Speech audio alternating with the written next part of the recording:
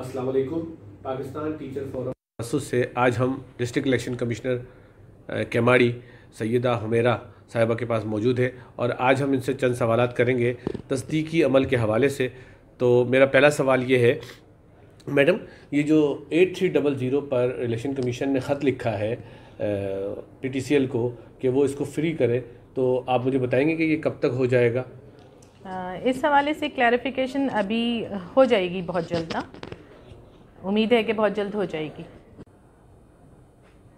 अल्लाम Pakistan teachers forum की तरफ़ से अरशद शाह आपसे मुखातिब हूँ। आज मैडम सैदा हुमैरा से सवाल करने हैं वोटर लिस्टों की तस्दीकी अमल के हवाले से। तो मैडम, पहला सवाल ये है कि लोग अपनी रिहाइश चेंज कर देते हैं, मगर आईडी कार्ड पे अपना नंबर चेंज, एड्रेस चेंज नहीं करवाते। तो इसकी वजह से नई जगह पर उनको अपने वोटर लिस्ट में रजिस्ट्रेशन कराने में मुश्किल पेश आती हैं। तो इसके लिए कोई रास्ता है? मतलब बगैर आईडी कार्ड पे एड्रेस चेंज कराए, वो नई जगह पर रजिस्ट्रेशन करवा सके अपनी?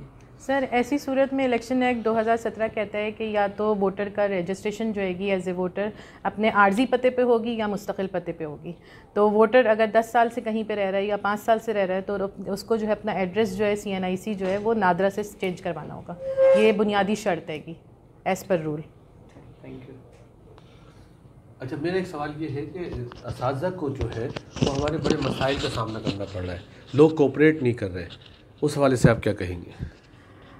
सर उस हवाले से यही अवामनास से अपील करूँगी और अवामनास को रिक्वेस्ट करूँगी कि जितनी भी तस्दीकी टीमें घर घर जा रही हैं ज़िले के माड़ी के हवाले से चारों सब डिवीज़न तो तस्दीकी टीमें अगर आपके घर जा रही हैं तो आप ज़्यादा से ज़्यादा ताउन करें और अपने सरबरा का कॉन्टैक्ट नंबर और शनाख्ती कार्ड नंबर भी अपने पास रखें, क्योंकि ये आपका बुनियादी फरीज़ा भी है और बुनियादी हक भी है। तो इसको